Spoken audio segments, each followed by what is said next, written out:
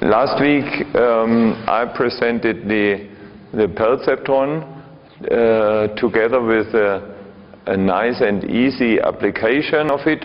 Uh, we did some uh, easy character recognition. Yeah? And now uh, today I present the nearest neighbor method uh, and when we, uh, so when after presenting the method I will show results with the same example.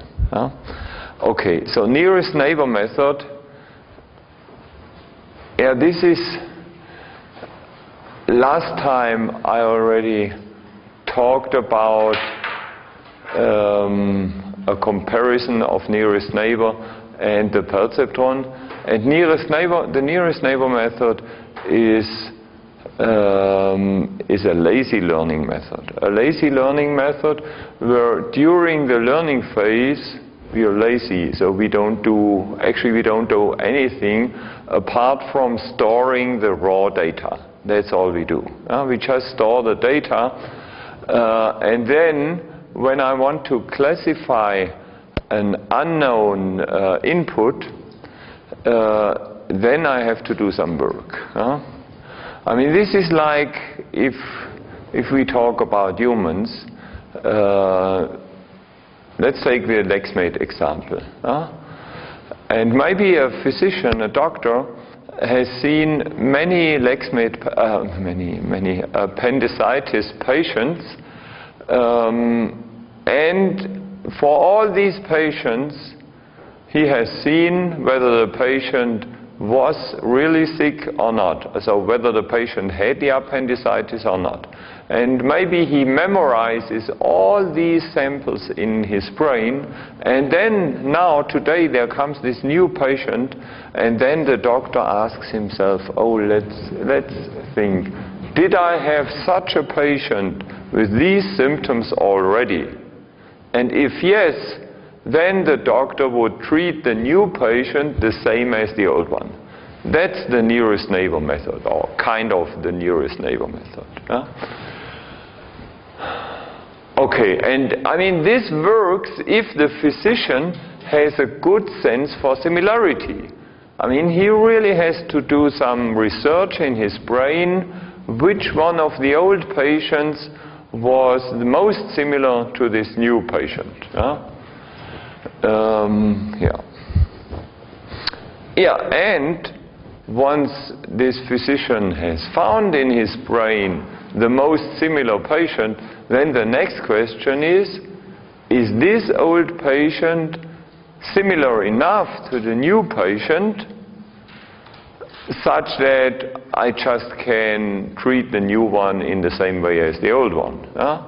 Maybe I found the, the closest patient, but it's not close enough, so I should not treat the new one in the same way. Okay, yeah, let's look at this picture. This makes it uh, really visible what's going on. We have uh, two dimensions, x1 and x2, and we have the positive class here and the negative class here.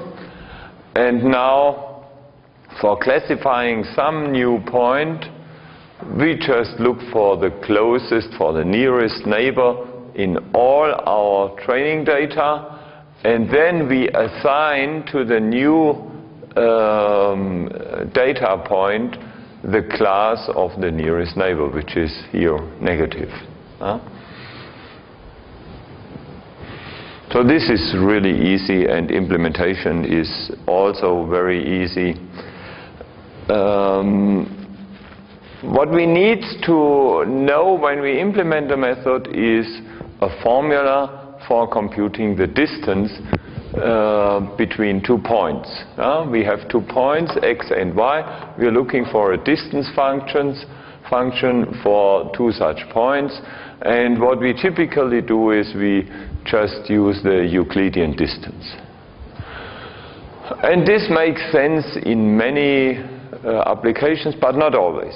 Sometimes we would use uh, other distance metrics. Uh, we have already seen in the 8 puzzle example the Manhattan distance, which is quite useful in many cases. There, are many other distance functions like the Mahalanobis distance or um, the, the Hamming distance, which is if, if, we, if we talk about bit vectors, then the Hamming distance is quite useful. Or sometimes we also need or want uh, a weighted distance. Huh? Um, and that's what we have here. So for all the components of my vectors x and y, for, for each component I use a weight wi, weighting each component. Uh, so if one of the components of my vector is much more important than the other components, then I of course would have a higher weight for this one component. And also these weights may be used for scaling the values. If in LexMed the leukocyte value may be uh, 20,000, uh, while the pain symptoms are just 0 and 1. So if we wouldn't do any scaling or weighting, then all the other uh, features would be irrelevant uh, compared to the uh, leukocyte value. Okay. Yes. Uh, and, and these weights, so in the, in the simplest case, these weights have to be uh, given manually. So some, the knowledge engineer has to know the weights. Okay. The algorithm is extremely easy. I don't know whether, yeah, maybe I just explain it. Yeah? So I'm looking in my sets m plus and m minus for the nearest neighbor to some new uh, input s.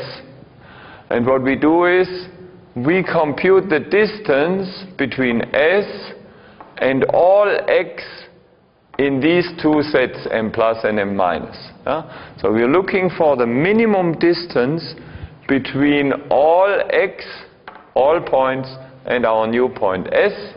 And when we find this, uh, this vector x, um, then this, uh, I mean, that's what we call t. This is then the point with minimum distance. That's t. Yeah?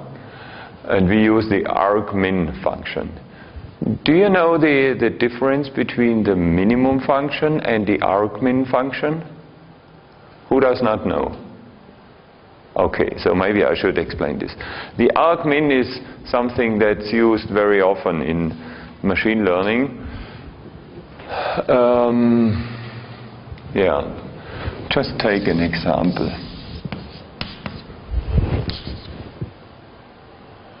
Um, yeah.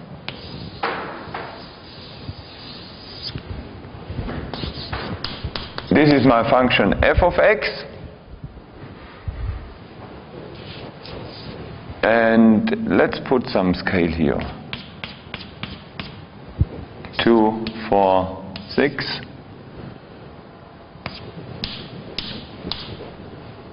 2, 4. So now we're looking for the minimum of this function f. What is the minimum of f?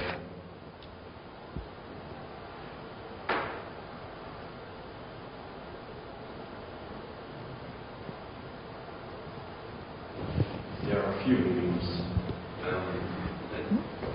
Yeah, we, we found a couple of minimum minima. This one, this one, this one. Huh? And also this point here. Huh? But, okay, let me ask this question more precisely. Uh, which one is the absolute minimum? Huh? And the answer is simple, it's this one. Huh? But now, um, formally, if I ask uh, what is the minimum of this function, then if you give me the answer this, this is formally not correct. I want to have, I want to have a number. Okay? So if you say 15.3, that might syntactically be a correct answer, but here it's of course not correct. Huh? So what is the minimum? I mean, it's, we were talking about this point. Okay? So now we have this coordinate is, let's say, 1.7, and this is 4. Huh? What is the minimum? What would be the correct answer? The minimum of f? 1.7. 1.7. That's the point. Huh? Not 4. And 4 is the argmin. I mean, if I would ask you, where is the minimum of f? Huh? For which input x do we get this minimum of f? Then you would answer 4. And this is what we call the argmin. The argument of the function f where we have the minimum. Okay, so that's argmin. And that's why we get one of the x's as the argmin, which we call t then. Okay, and then if t is in m plus, then return plus, else return minus. I mean, this return value is then the class which we assign to our new input x, s. Okay, yeah. And now in order to understand what uh, the nearest neighbor method does, it is very helpful to look at the so-called Voronoi dia diagram. The Voronoi diagram is what we have here. Uh? So we draw into in our space all the data points. And for the moment, we do not distinguish between any classes. We just put the data points there. And then we ask ourselves, um, let's start with this point. Um, what is the region of my space in which a new point would have this point as a nearest neighbor? And this region is, that's what you, what you get by, um, yeah, inside this area here. Huh? I mean, it's easy to understand how we get this. I mean, which are the points, if we look at these two points, these on the left side of this straight line are closer to this point, and these are closer to that point. And now, so I can draw this line here. And this, this is, uh, so, um, initially this is infinitely long. And then we look at these two points, and then we get this line. And, and here we get this line for these two points, and for these two we get this line, and so on. Yeah? I mean, we could do this with other points too. If we take these two, we get a line which would look like that. But this would be not effective because we already have this line which is closer to that point. Yeah? Okay, so um, now if we draw all these lines into the picture, what we get is the Voronoi diagram. And this Voronoi di diagram tells us which is the region around some point where all its uh, yeah, this is the set of all points which have this data point as a nearest neighbor. Yeah. Okay, and now in this uh, figure here, we distinguish between the two different classes, the positive and the negative class. And now we can draw, the, this black line separates the two classes. Huh? So now we have the line dividing the two classes. And I mean, it's obvious that here we have a completely different situation to that of the perceptron. What is the big difference?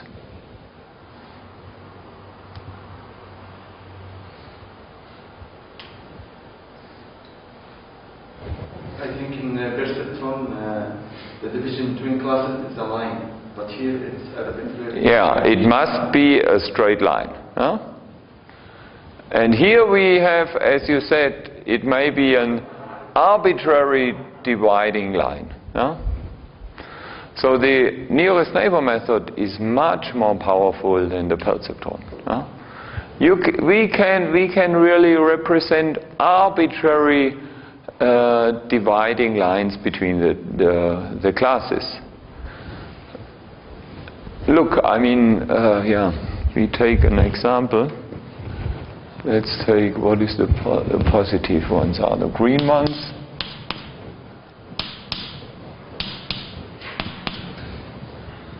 And now we take some negative points somewhere in between, like that. And now, I mean, yeah, we, we may try to draw a Voronoi diagram. Yeah, here this may be like that.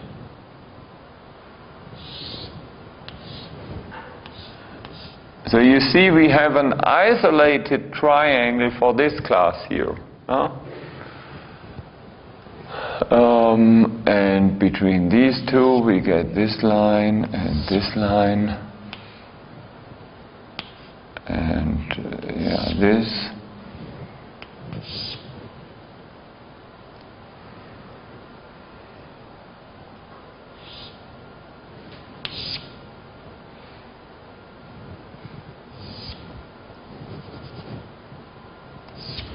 something like that. And you see we have many separated areas for, this is for the red class one area, this is one for the green class, and oh yeah, okay, it continues here.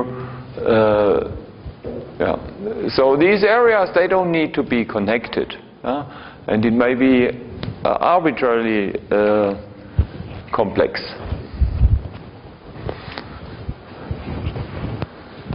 Okay, yeah. Uh, yes, and if we look at this example here, then we see this is an example which shows a drawback of the nearest neighbor method because, I mean, here we have a big cluster of negative points and there are a cluster of positive points, and maybe this is an, an outlier. Maybe that's a data point which is just due to noise, but not, not a, a real area for, of positive uh, points. And now this new data point would be classified, would be put into the positive uh, class, even though this is just noise. yeah? So that's a disadvantage of the nearest neighbor method. And this effect that we have here, that's what we, uh, what we uh, call overfitting. So we fit something which is not really do, uh, there. We, and that's why we uh, call it overfitting, because we do too much uh, fitting to some uh, artifacts of the data which are not real. And uh, I mean, we, yeah, we will now look at how we can solve this problem.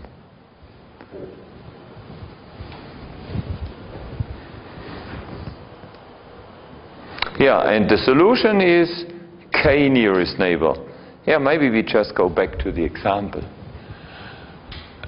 We can solve this problem if we, if the decision we take, the class decision for the new point, is not only based on one, uh, on the one nearest neighbor, but on, let's say, the three nearest neighbors, for example.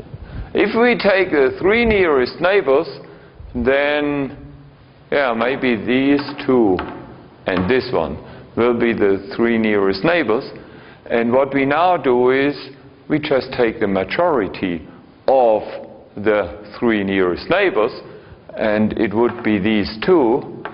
Um, and they are of both of the negative class, so the majority is negative class, and therefore we would classify this point as a negative data point.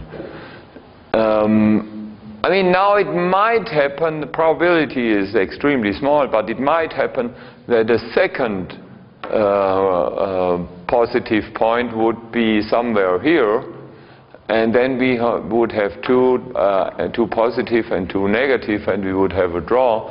So you see, it may be even better to take more than three nearest neighbors, maybe five or six or seven. Um, and then we would definitely have the negative class here. Yeah, so now uh, what happens in the extreme case of very many nearest neighbors? So we don't take three or four or five, we take as many nearest neighbors as we find. What would happen then here? What would happen with this point? Which class would it have? If we take 50 nearest neighbors? I think it would be red class because there are more red data points. Yeah, that's it. And it would be the red class for a data point here too. Huh? So in the extreme case, where we take as nearest neighbors all data points, then we would always have the same decision, which would be the majority of all data points.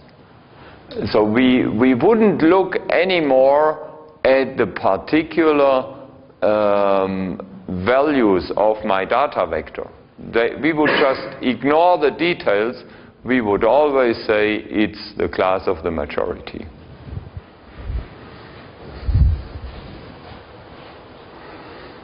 Okay, this is the algorithm. I think we don't need to look at this pseudocode. It's, it's very simple. And, and I mean, it's obvious everybody uh, understands it, I guess. Um, yeah. And now, if we do the nearest neighbor method on our um, pattern matching task, here, pattern recognition task, with the same with the same example we used last time for the perceptron, then we get this result. So the, the, the black dots are the result now. So uh, on this axis we have the number of bits that we flip in one of our training patterns. So, I mean, this is more or less the distance uh, between our test pattern and um, one of the training patterns. And here we have the correctness, so this is 100%. And as you can see, um, for a number of bit flips up to 8, we have 100% correctness. So all, all our test patterns, even with uh, quite a bit of noise, I mean, we have uh, our patterns uh, consist of 25 bits. And up to eight flipped bits, which is quite a lot. I mean, this is about one third of all the bits are flipped in the image. Yeah? And that's, that's quite much. So even with one third of all the bits flipped, uh, we have a perfect classification of the noisy patterns. And now if the number of bit flips is bigger, then it goes down but I already mentioned last time that 12.5 is, this is, um,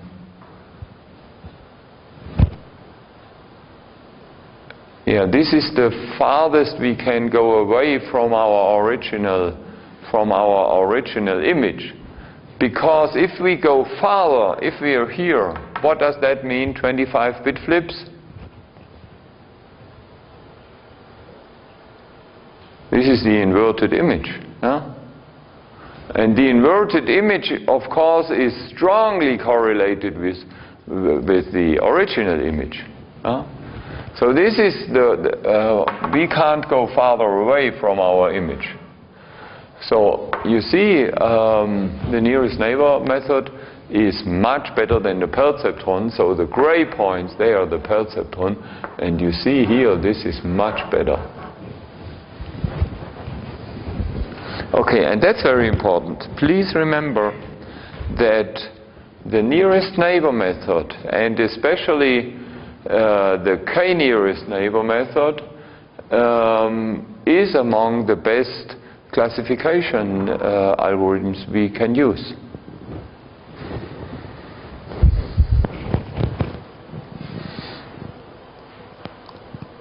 Okay, yes, um, so, um, yeah.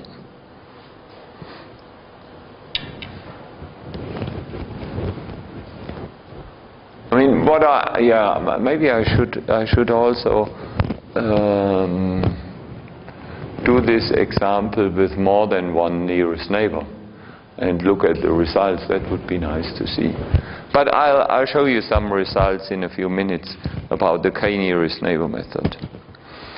Um, yes, and an, an, extension of this method, it's, it's also applicable if we have more than two classes. So, um, yeah, let's look at an example.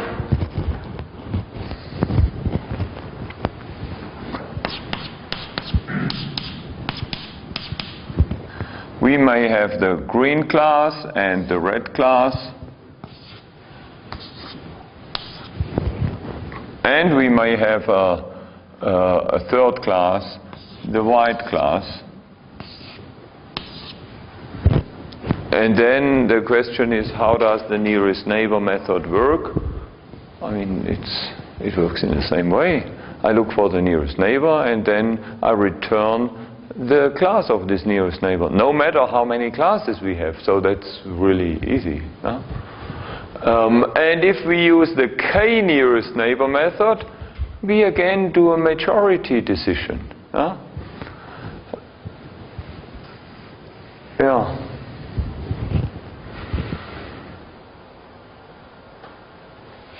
Okay, yeah, and, and uh, yeah, what's, what's important is for classification, mean, this is not only true for the nearest neighbor method, it's true for all classification methods.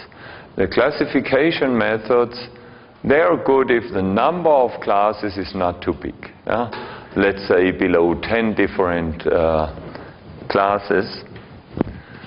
Um, if we have, I mean, we might have 10,000 different classes, and in principle, we could apply uh, classification algorithms, but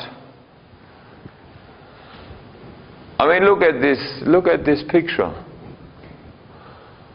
We have 2, 4, 6, 8, 10, 12, 14 data points. If we have 14 data points and uh, 50 different classes, that wouldn't make much sense. Why? Because for 36 of our 50 classes, we would, we would have no data point at all. And how can we do machine learning without any training data? Or in other words, I mean, we, we need more than one point for each class because of statistical reasons. So in order to have good statistics, we need from all the classes many data points. Huh? So if we have 10,000 classes, uh, then um, in order to get 100 points for each class, we would need 1 million data points. I mean, if we have so many training data, it might be okay. Yeah?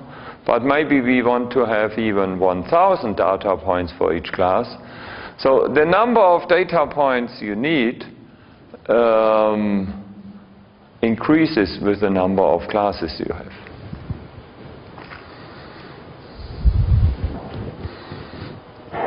Okay, yeah, let's look at this other example. This is a nice example.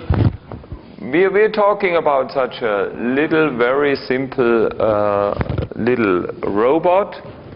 The robot has a differential drive. That means uh, two wheels which can, uh, which are powered individually, and so the steering of this uh, robot uh, works via the different uh, speed of the two wheels. Huh? We have already seen such simple agents when we talked about the Braitenberg example at the beginning of the semester. And there, in our agent, we had a very simple logic, which may be, uh, I mean, there are two sensors here, two light sensors, and uh, the speed of the left wheel is proportional to the uh, intensity coming from the left sensor, and for the right wheel and sensor, the same thing. Or we could, we could just cross the connections, and then we would have a different behavior. But now, we do machine learning. So now the logic inside here has to be learned. So we don't know what the logic is that we want. We just train this agent. Huh? And how does the training work? I mean, in robotics, we would call this learning from demonstration. Huh? Now, what we want, suppose we want to train this agent um, in order to have an obstacle avoidance. Huh? And suppose this light source here is an obstacle. So now, then we would train the agent not to hit the object, but to just pass the object. In this case, it would pass it on the right and then move uh, further on. Or if the agent comes like that, we would make a left turn here. Huh? So we would really, we would actually, while we train the agent, I would take it manually and just move it uh, around the obstacle. Okay? And then as, as training data, the robot would uh, get something like this as the point. In this diagram, on, on this axis we have the ratio of the sensor inputs. So the ratio of these two inputs. Huh? Um, and this ratio is between 0 and 1. Let me see, what is it? Yeah, sensor input, the right divided by the left input. So this input divided by that one. So uh, this is bigger than 1 if, the, if we get more light here. So that's in this area. Um, so the, if the obstacle is on the right side, we are in this area. And if the obstacle is on the left-hand side, we are here. And now if the obstacle is on the left-hand side, we, we would have to make a right turn. And on this axis, we have the difference of motor voltages, UR minus UL. Huh? So if this difference is bigger than 1, uh, bigger than 0, yeah, greater than 0, then we make a right turn. Is that correct? Greater than 0, you are, no, then we make a left turn, yeah. If it's less than zero, we make a right turn. Yeah.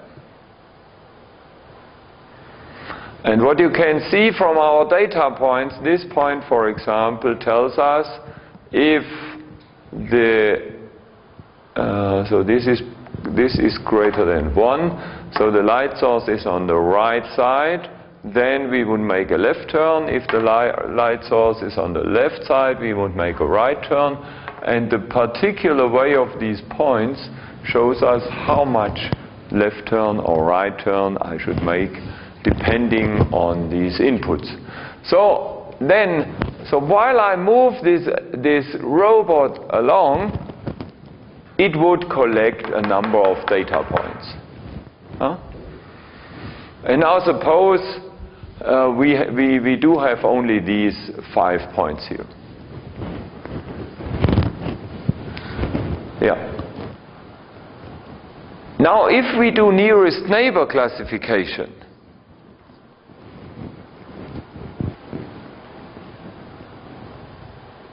Then what, we what would, we, would we do? We would take a new sensor input, like this guy here. Huh? And then we would look on this axis. Maybe I should draw it. Which one is the closest uh, data point? So we would have this point, this, this, this, and this. And now if there is this new data point which is here, then we would see this is our nearest neighbor. And now we don't do a, a classification anymore. We, this is actually an approximation task. Because our output is not two classes, the output is this uh, voltage difference. So it's a continuous output. But what we would do in the, in the simplest case is we would say, okay, this is our nearest neighbor. So for the new data point, let's use the same voltage we had here. Uh? And that would mean you can see for all the points between here and actually here, we would have the same constant voltage. Huh? And this line, where we have this jump here, is the middle between this point and this point. So in this area, we use the value of this point up to here, which is the middle between these two points, and so on. Okay, so that's what we get as a result, and I can tell you this robot would work with this output function. But it wouldn't look very nice. What wouldn't be nice with this robot?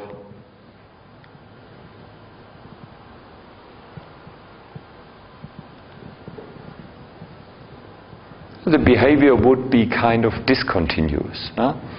So it would, if the robot moves, it would move a straight line. Um, it would kind of have a straight line up to here, and then it would make a discontinuous switch like that, and here it would do it like that, and here it like that. So it wouldn't be a very smooth behavior. Huh? In order to get a smooth behavior, we would need an approximation to our data points like that. So we really want to have a smooth curve. But the naive application of the nearest neighbor method, just using the same output value as the nearest neighbor, uh, gives us something like that.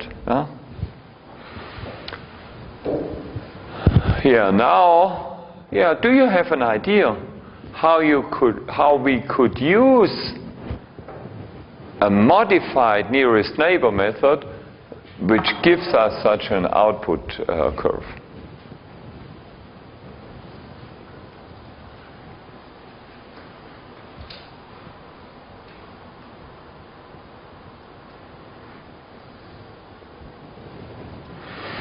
I mean, look, the, the problem was that we just take the value of the nearest neighbor even if we are almost in the middle between this point and this point, we still use this value. I mean, couldn't we say, suppose we are exactly in the middle, and then we would take the average of this value and this value, which would be somewhere here, which would be much better than using either this or that value.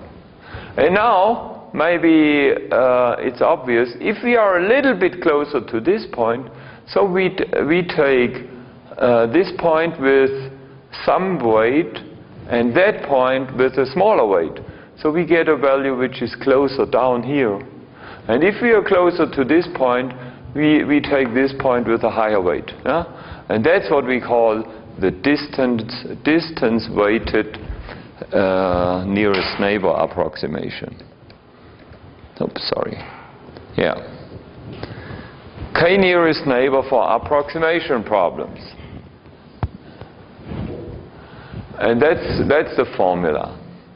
So, um,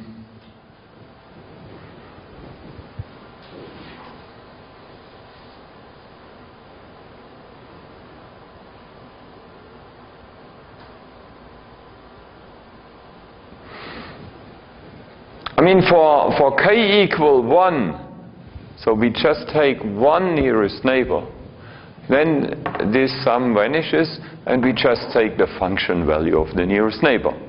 If we take two nearest neighbors, in this formula, we just sum the two values and divide it by 2. So we just take the average value. Huh? So let's go back here, the, the two nearest neighbor method. How would, yeah. So please think for a moment. How would the result look like if we take two nearest neighbor and uh, do this uh, and use this function, uh, use this formula here, which is just the average of the two nearest neighbors. Now, how would it look like? Would it be this? Would it be that? Would it be something different?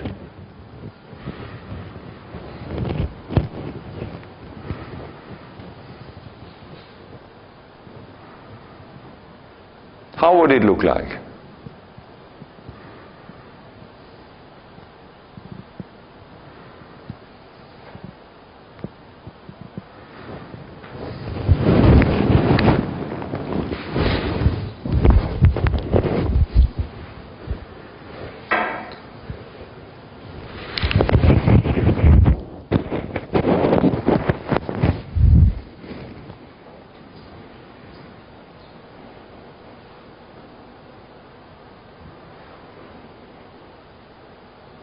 As our output value, we always use the average of the two nearest neighbors.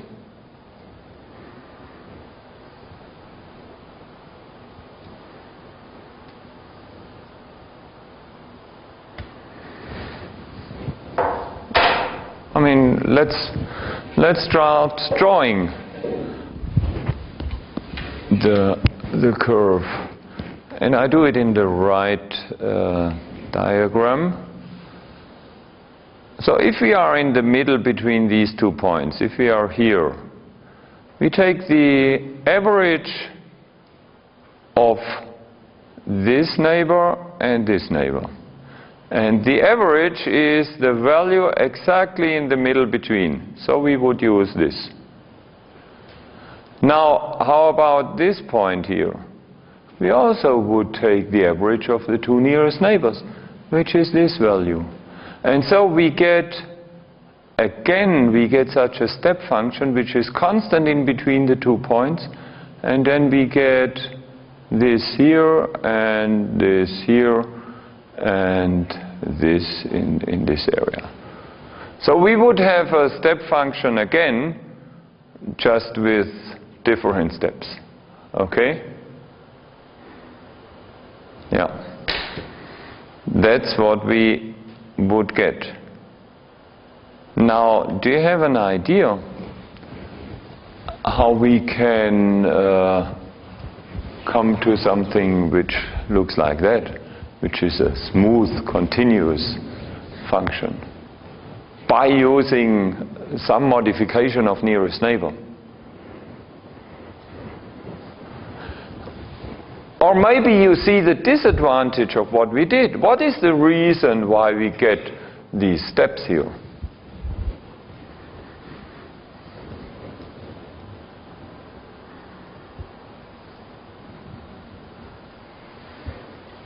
We don't use the distance to the neighbors. Yes, yes. We do not use the distance. Even if we are very close to this point, we still use this which is far away with the same weight. So maybe you, we should use a distance weighted nearest neighbor method.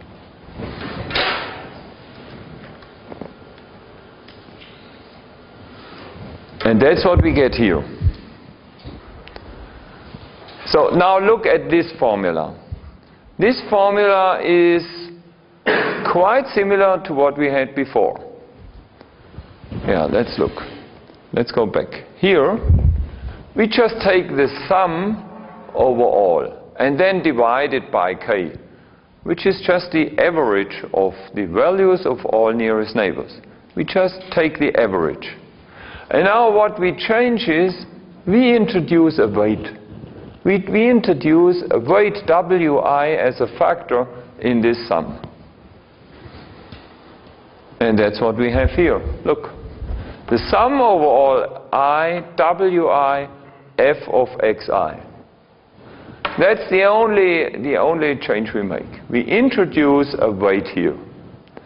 And now here in the denominator, this is just a normalization constant. Look, what is that? This is the sum over all weights. Huh? So that's a, uh, that's a fixed constant which does not depend on our data point. Yeah. And now, of course, the interesting question is where do we get the weights from? We just said we want to have a weight which is the bigger, the closer I am to a point. So the, the closer my neighbor is to the new data point, the higher uh, we want the weight to be. And that's the function, or that's, I mean, this is one possible choice for such a weighting function. You can, you can use something else. Yeah, so yeah, maybe we should start with something simpler. So how about Wi um, is equal to 1 over d of x comma xi. Yeah. I mean, here we have this inverse property. The smaller the distance, the higher the weight. That's the easiest uh, thing we could do, maybe.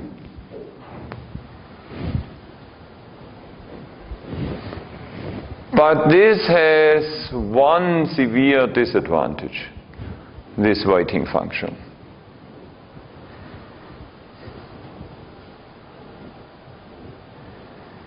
Why is this not good? Because it's not defined for the, if the distance is zero. Yes, and may that happen? Distance zero? Yes, it may. When? In which case do we have distance zero? When we get a point that is equal to the data point. Yes. When our new point is equal to one of our training data points, yeah? then the distance is zero and then it wouldn't be defined. Okay, so now let's say um, suppose it would never happen that the new point hits one of the, the training data points. But what would happen if the new point is very close to a training data point? Then the weight would be extremely large. Huh?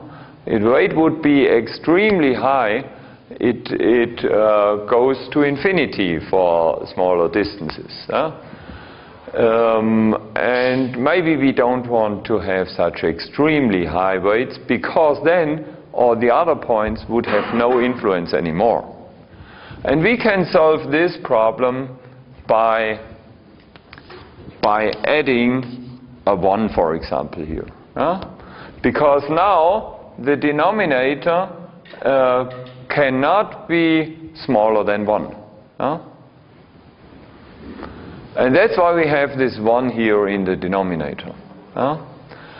And then uh, we, I introduced such a constant alpha, um, yeah, which is important because, I mean, this distance here, these distances, they depend on the scale of my axis. Yeah? So suppose these values are all times 10 to the power minus 20. And if I would use this formula, then I would have uh, here in the denominator always 1. Yeah? So there wouldn't be any influence from the, from the distance. So we would, we need some weighting factor depending of the scale of my data.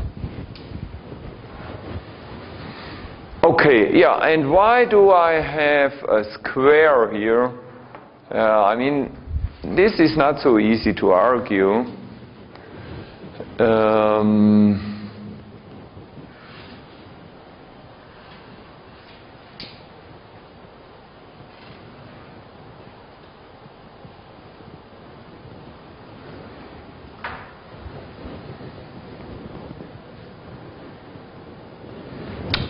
The square makes sense in two-dimensional data.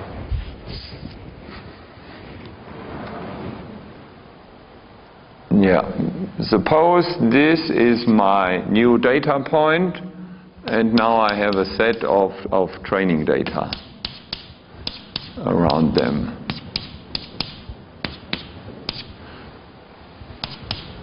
And now let's draw a circle around uh, this point a circle with a fixed radius r. And now the idea is that if I take such a, a ribbon or with a, a certain width delta r, and now the idea is that if I take this radius r and I count or I, I, I, would like to know the expected number of data points in this ribbon and I may take a ribbon of the same width very close to my data point. How many points do I see here? Of course, um, less than here because this ribbon is much longer. Huh? And now the idea is that the overall weight of all the points in, in here and the points in here uh, shall be the same. Huh? Yeah. And that's what I get if I take the square here. Because the number of points on average I would get here increases quadratically with the distance from the origin because the area in this ribbon uh, here increases quadratically. Yeah, that's the point.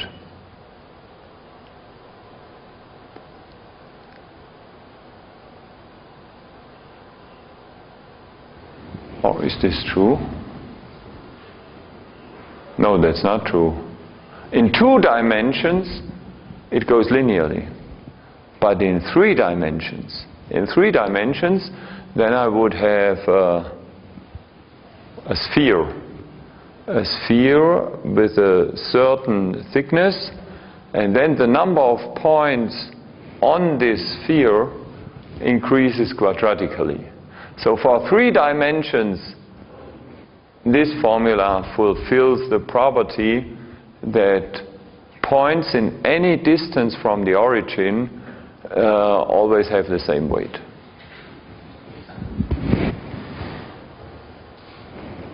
Okay, yeah. But it, it's important to say that this formula, I mean, it's quite good, but this is just an arbitrary choice of the weighting uh, function. So you could use something different uh, if you think this is not appropriate.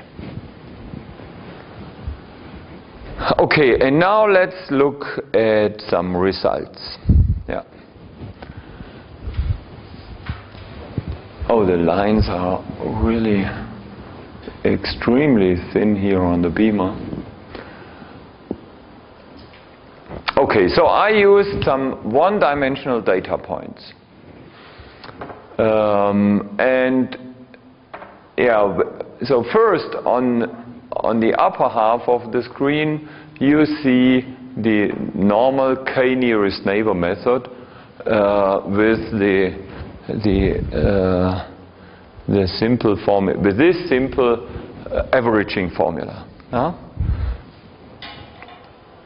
Yeah, and for k equal 1, that's what we get. look at this point, for example, then uh, all the nearest neighbors, which are these points, they get the same output value. And then here, and we have a jump in between.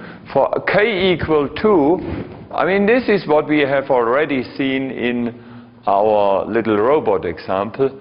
So we have this value in between these two points and this value in between these two. Um, yeah, and now if we increase k, um, then still we have a step function. It's not continuous, but I mean, if you look in at this area here, you can see we get some kind of averaging. Yeah? So look here, it we, we really go down to this point, or we go up to this, maybe this point is, is just an outlier. Huh? So maybe uh, the real curve goes like that, and this is an outlier, so we get overfitting here. We get overfitting, so we really approximate the outlier, but here, in our curve, you wouldn't see the outlier anymore. But the disadvantage uh, which you immediately see is that um, we do have the discontinuities. Now, here we use the nearest neighbor method with the distance weighting with uh, this function over there. Yeah, we have an alpha too. Yeah, and, and you see now we use, uh, we use different alphas here. Huh? Um, so we have alpha equal 20 so this is the alpha. Yeah? Um, yes. And the higher our alpha is, the more influence we get from the distance compared to the one here. Yeah?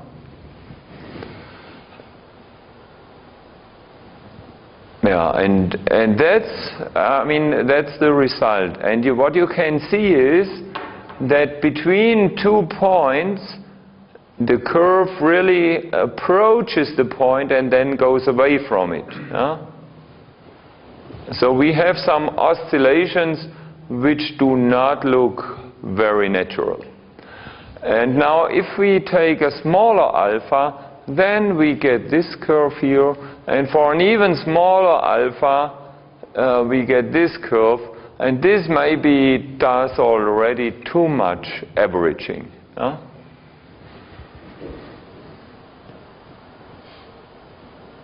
Yeah. So you see this alpha here is kind of a smoothing parameter. Yeah. But what you see is with the nearest neighbor method, uh, which is still extremely simple, uh, we can do quite good approximation, function approximation.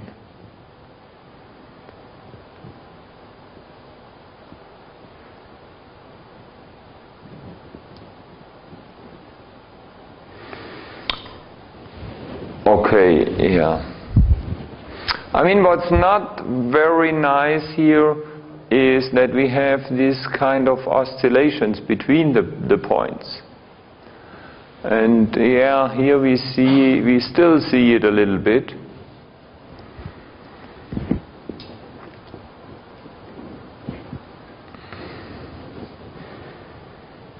This is due to the fact that, hmm, yeah, we, let's look at the formula.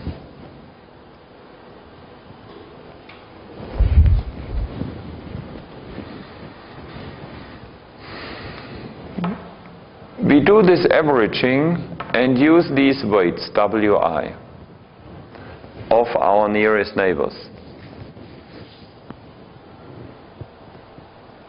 But each neighbor gives me depending on the distance, a constant weight. Huh?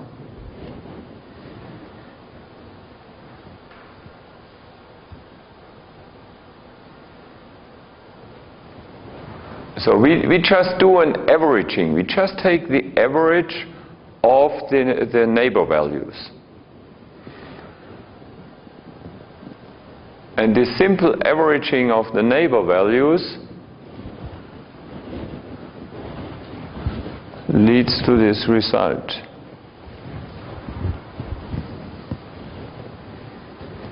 Yeah, of course, I mean, this guy here has highest weight, and that's why it goes down here. Huh? And now, obviously, these two both um, these two together have less weight than the sum of all the others which are higher up, and that's why it pulls the curve up here again. This effect can be avoided by improving the method. Um, I mean, yeah, there is an improvement of the distance weighted nearest neighbor, which I do not present here in the lecture, but maybe I just mention it. Um, it is locally weighted linear regression.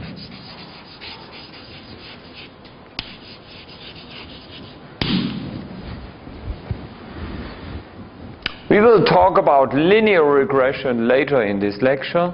We will also talk about linear regression in the math lecture. Um, and I mean, the idea behind linear regression is quite simple. I take some data points and uh, yeah, put on here linear regression is just we fit a straight line through our data point. That's what linear regression is all about. Huh? And now the locally weighted linear regression is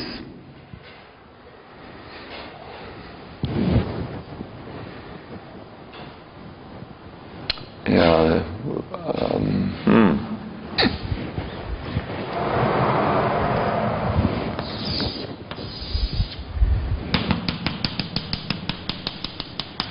Suppose these are our data points. And now we do linear regression. Um, suppose we want to classify a new point, which is this one. Now what we do is, to classify this new point, we do a linear regression with weighting of the data points. So these two, of course, get the highest weight, and all the others, they get lower weight. And finally, the straight line we get would be something like that. And for a data point here, we would do linear regression, weighted linear regression again. We would get this line, and for this point, we would get this line, and so on. And now, if we interpolate between all these lines, we get a, a very smooth curve, which is similar to what we see over there, but even better. Yeah.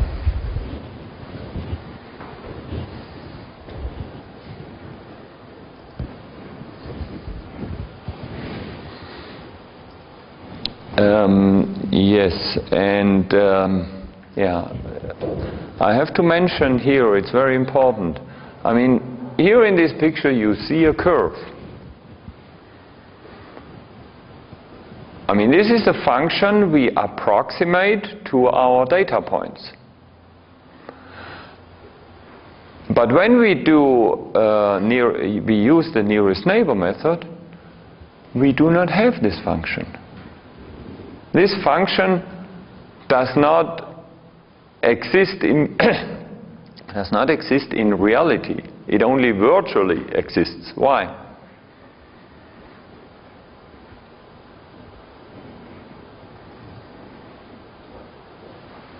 How does our nearest neighbor method work in terms of machine learning? It is lazy learning. During learning, I just store the data points. So I do not uh, produce this function during the learning process. And I don't produce it either while I recognize a new point. It never exists. What happens when I do nearest neighbor method? Suppose we are here in alpha equal 4. We just store the points, that's it. And when there is this new data point for which I want to know the output, suppose it is here, and then I use my formula. I use my formula and I get this value as an output value. But I just get this one point. So that's very important to know. What did I do to produce these uh, curves here?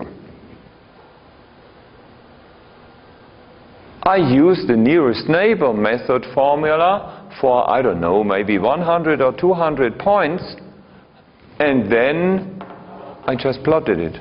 That's it. Is that clear? That's very important. This function does not exist in reality. And that's why this is a lazy method.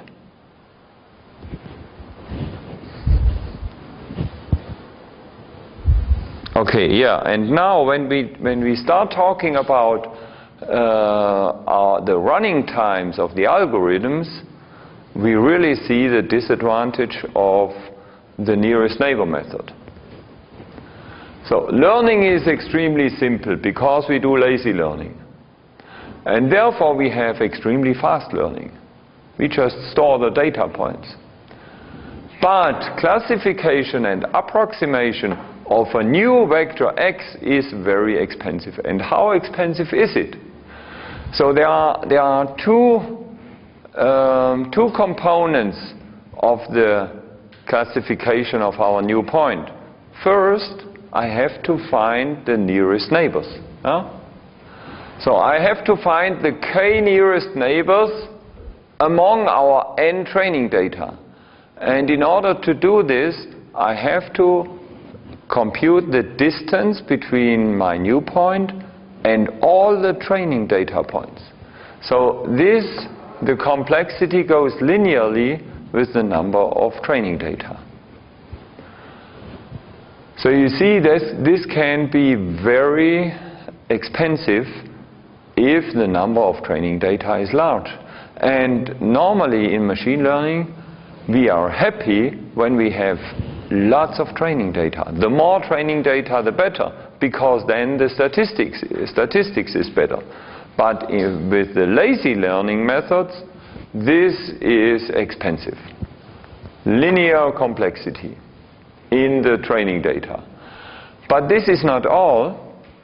Um, now, when we do k nearest neighbor, then we, we have to look at the k nearest neighbor and to average over the function values of the k nearest neighbors.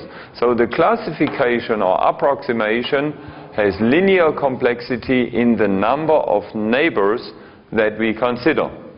So the total computing time is linear in n plus k. And yeah, so we could actually, here in this formula, we could actually use k equal n. So we, we could use all the data points in this formula which would be would give us the best approximation.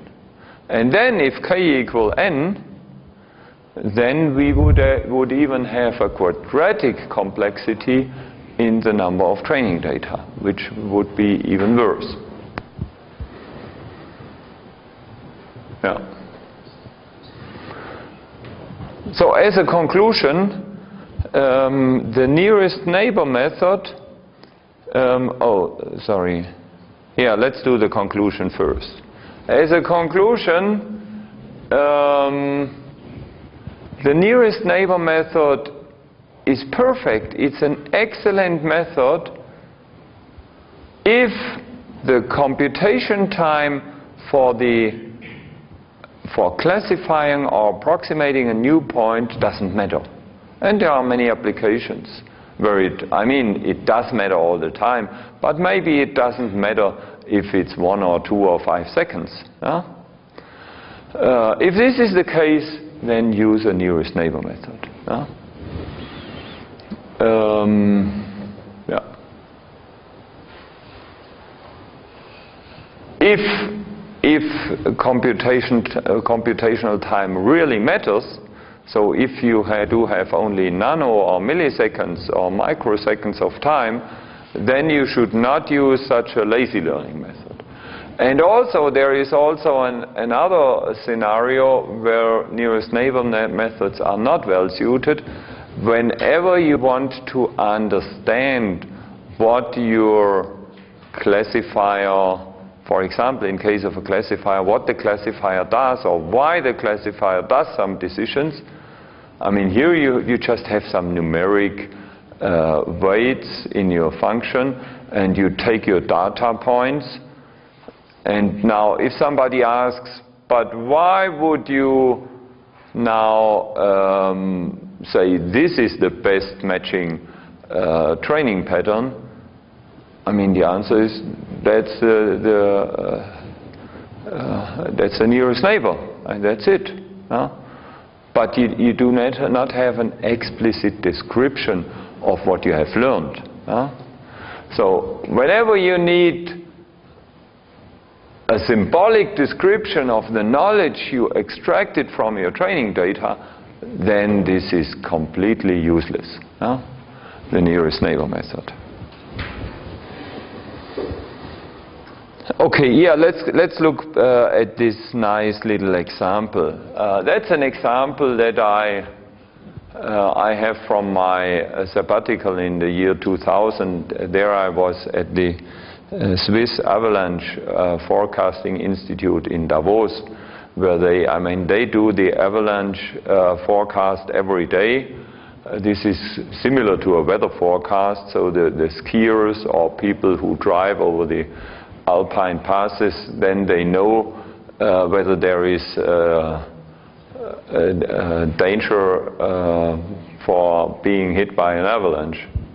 And, and the avalanche hazard level, uh, it's, uh, it is between 1 and 5. And 5 is extreme danger, and 1 is uh, almost no danger at all.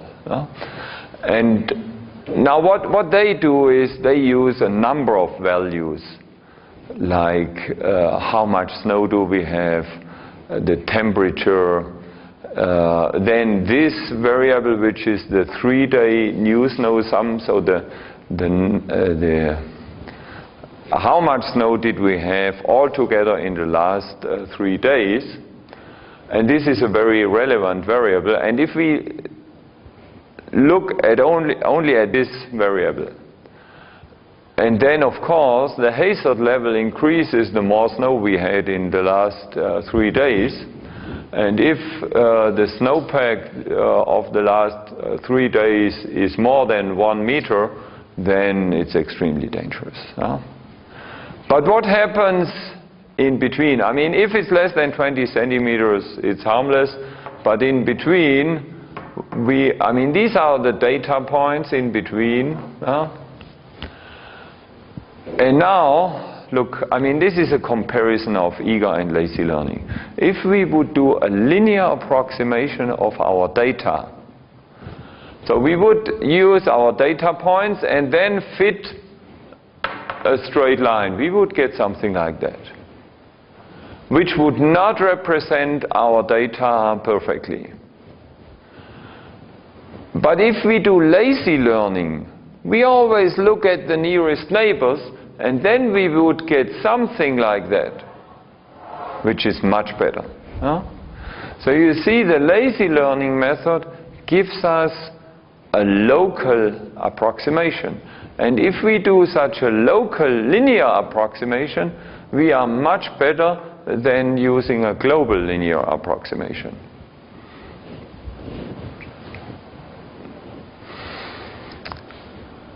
Yeah. I mean, and that's, that's kind of a trade-off. the global linear approximation has the advantage that I compute the formula for my straight line from my training data. Suppose I have a million data points, then it takes some computational effort to compute this line. But once I have this line, it's easy. I mean, it, then it's, it's a nanosecond or whatever to, yeah, it's extremely short computational time to, uh, to compute the hazard level for some new input value.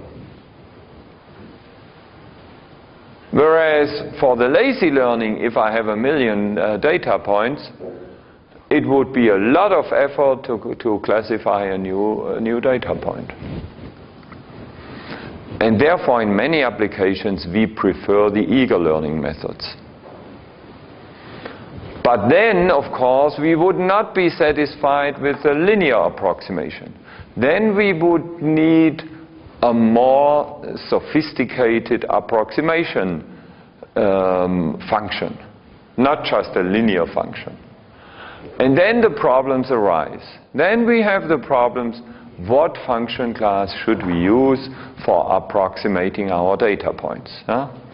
And that's what we will, we will talk about this issue in depth in, in the math lecture uh, during the, yeah, towards the end of this semester. There, we will go into function approximation and we will see that it's not easy at all. Huh? I mean, this is a big field of mathematics. Um, yeah, I don't go into this deeper now. For the moment, you have the alternatives. Uh, use the nearest neighbor method or use a perceptron. Huh? Okay. Yeah. And now, uh, yeah, I talk about case-based reasoning um, because, in some sense, case-based reasoning is very similar to the nearest neighbor method. Case-based reasoning is an area which was very popular in AI during the last 30 years. And that's why I want to mention it.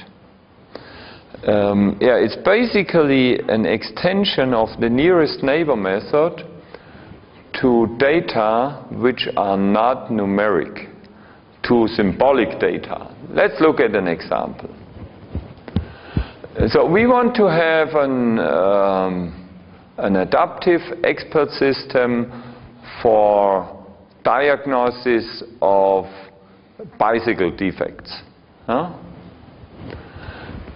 And we do something like the nearest neighbor method. We just store in a database all the cases of broken bicycles I have seen. And now there is this new bicycle, or not new, there is this uh, broken bicycle that I have, and then I look in my database which ones were the most similar. Huh? And then I look, oh, what did I do at that time?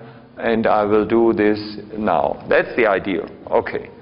So now we, we, we do have the case base, which is the database. Huh? And then there is the query. And these are my variables or features. So the defective part is the real light. The bicycle model is this one. And the year, power source, bulb condition. So the light bulb, it's okay light cable condition, I don't know. And then the diagnosis. That's actually what I want to know. I want to know what was the, uh, what was the, the reason for my defect. And also I want to know how can I repair this defect. Now in my database, I find a case where it is not the rear light which is broken, but it's the front light. And this is the type of bicycle, that's the year. Power source is not a battery, it's a dynamo. Uh, bulb is okay, cable is okay, was okay. And the diagnosis was the front electrical contact was missing and the repair was establish front electrical contact. Okay?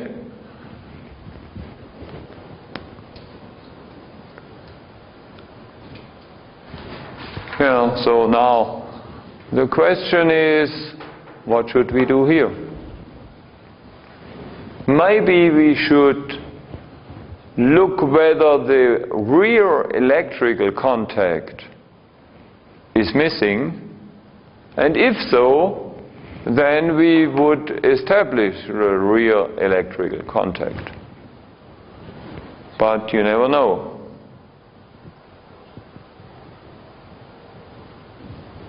Yeah, I mean, that's what we can read here. The transformation. The question is, how should I transform uh, my case from the case base to my new case? Huh? That's the question. This is one question. The second question is, I mean, this is my vector of my feature vector of the new case, and this is the feature vector of the old case. How can I here, with these symbolic descriptions, compute the distance in order to find the nearest neighbor?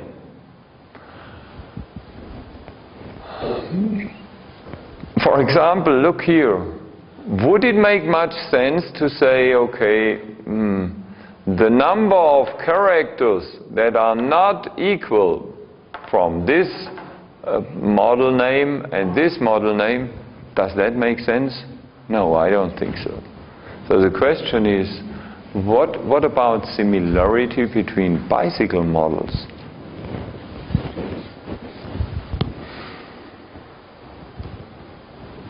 That's a problem in case-based reasoning. Now let's, let's look at, the, at the, the CBR schema. So what we want is, so we do have our database of all these old cases which we have stored. And now there comes this query X, this new case. And I want to know, that's what I want. I want to come from my query to a solution for this new case. But now what I do is, I look in my database for, for a matching case, for a case which is most similar to our query, most similar or which is the nearest neighbor. Huh? So I look for the nearest neighbor in the database. Suppose this would be possible or easy. Now I found this case. But this is not yet the solution for my case X. Yeah, I want to have a solution for my case X. Okay, but there is in the database a solution for this old case Y. And now the question is, how do I come from the solution for this old case to a solution for the new case X? And that's, that's the, the critical, crucial question in CBR.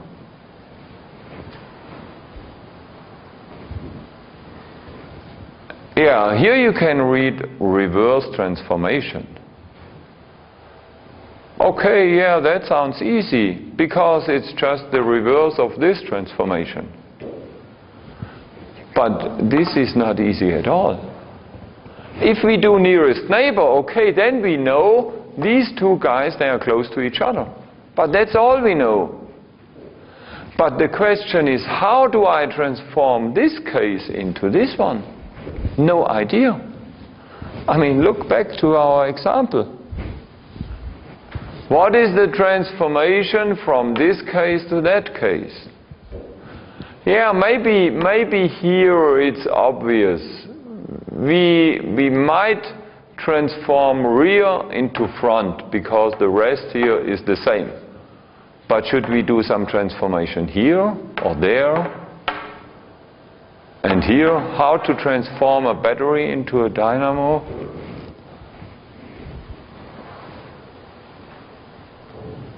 So this is not obvious at all, how to transform such a case into another case. Now, if this is not trivial, then we do not have this transformation, and therefore we, uh, we have no idea about the reverse transformation, and therefore we have no idea how to transform the solution of the case from the case base into a solution for our query X. I mean, it's a nice diagram, it's a nice idea, and uh, too many, way too many AI researchers have published thousands or tens of thousands of papers about this nice idea, but with no results. Yeah? That's, I mean, I always was amazed when I read about conferences about case-based reasoning. Yeah? And I mean, this was not, uh, not really successful, but for, for 30 years, there were conferences and meetings and millions of euros and dollars spent for uh, researchers traveling around the globe, but with no results. I mean, this was immediately uh, obvious that it's impossible. It's virtually impossible for, for non-trivial domains. I mean, there are trivial examples where it works, but they are just toy examples. But of course, it has to be mentioned because for a long time it was a uh, it was a big area of AI. Okay, I talked about these problems already. Yeah, okay. And that's it with um, the nearest neighbor method. Are there any uh, questions remaining about nearest neighbor? Okay, so then we go into the next section, which is decision tree learning. And um, decision tree learning still is not very popular. Oh, may, may I ask you, who has already heard about decision tree learning? Who has heard about neural networks? Okay, yeah, neural networks are very popular, but you've never heard about decision tree learning.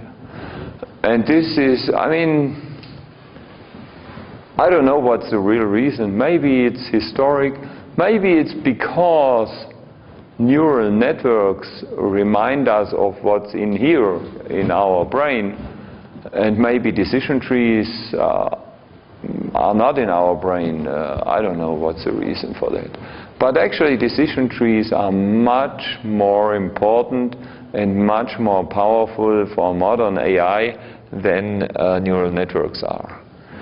And you will see it. You will see the advantages of decision trees. Um, and decision trees are something very simple. This is one of the reasons why they are so successful. Okay, I mean, I hope you have already heard what a decision tree is. If not, it's no problem either because they're so simple. So this, is, this here is a decision tree for a situation how it hopefully may happen within a month from now when it's winter. Yeah? Uh, so then um, we may want to know whether it's worth going into the Alps for skiing or not. Uh? And this is a decision tree for the decision about skiing or not. Uh? First, I need to know the snow distance. So what is the closest spot in the Alps from here where we have good snow conditions? Uh? So if the distance to, the, to good snow conditions is less than or equal to 100 kilometers, then we decide to go skiing. If it's uh, bigger than 100, yeah, then it depends on whether we have time and on the, during the weekend, uh, maybe even then we might go uh, skiing. But uh, now if it's a weekend, then maybe we want to have uh, sunny weather so if it's a weekend and the sun is shining, uh, then we go skiing. If it's a weekend and no sun, no skiing. Or if it's not a weekend, then no skiing. That's quite easy. So now the point is that we want now to automatically generate such a decision tree from our training data. And maybe you already see one of the really big advantages of decision tree learning. Because if from your training data you can automatically produce such a decision tree, then every human, every human being is able to understand the knowledge that you extracted from your data which was not possible for the perceptron and even more it was impossible for the uh, nearest neighbor method. But here you get a really nice symbolic representation of the knowledge inside your data. And uh, so what we now uh, are going to develop is an algorithm uh, that extracts such a decision tree from our training data. Uh, and um, yeah, first we have to define the variables. So we have the variables key, sun, snow dist, and weekend, which are binary variables. All, all of them are binary vari variables. This one is the distance uh, less than 100 or uh, greater than 100. Yeah, and then here we have the training data. This is just a tabular of the training data on day number one with this snow distance, weekend, sun, we went skiing, and so on. So we have 11 such training data vectors. And um, yeah, so now, yeah, the question is how does the tree come from the data? Given these data, how can I find such a tree. Let's look at the data again. I mean, basically, yeah, and maybe, yeah, oh, we should stop, but we just develop a, uh, a little tree from the data. We start with, uh, on the root, we just take one of our variables. Let's take, uh, no, let's start with skiing. As the first variable. Oh no, sorry, ski skiing is our class variable. That's not that's not a good idea.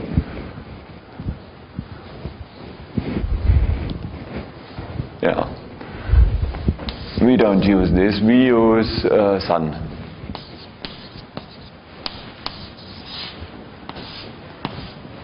Yes? No. So now in for sun equal yes, we take the days number 1, 2, and which others? 4, 5, 6, 7.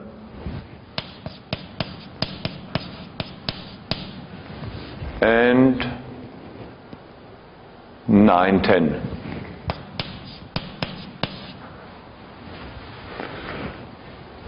These are the days where we have sun equal yes. And now we take as a next variable snow dist, for example. And we, we take the decision again.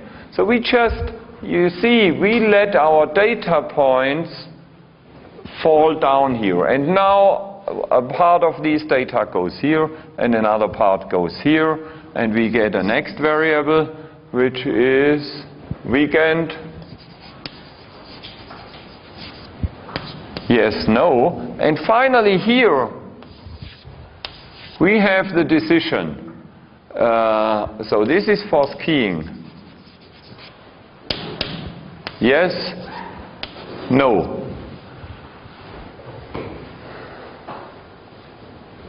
Um, Weekend, yes, no.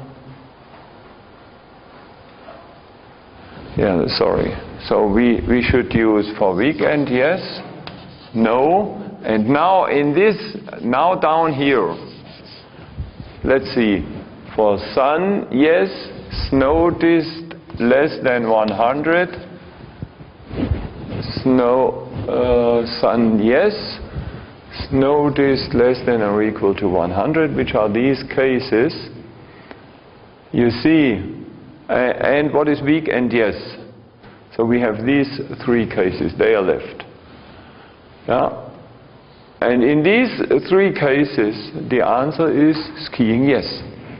So then, here, yes, weekend yes, the answer would be yes. And now let's look here for weekend no. Sun yes, sun yes, and weekend no. Among these four, um, we get only this one, which is yes 2. Huh? So we get an answer of yes 2. And now you see how we could produce the whole tree. That's quite easy. It's very easy. We just let our data flow down the whole tree, and then down here we do a majority decision. That's it. Huh? That's very easy. It's as easy as it can be. But there is only one little disadvantage. If we do it in this naive way, we may get quite large trees. Huh? Because we have to expand the whole tree fully. So we have to expand all branches down to the bottom of the tree. And if we have many variables, suppose we have 10 binary variables, then the number of leaf nodes would be 1024. So it would be quite a big tree. Huh? And what we see next time is a method that um, prunes our trees. So we get really quite small trees, uh, even if we have a large number of variables. And uh, I mean, having small trees is desirable for two reasons. Reason number one is small trees are easy to understand for us humans. Reason number two, big trees tend to overfit our data. So they do not generalize very well. But we'll look at this tomorrow morning. Thank you.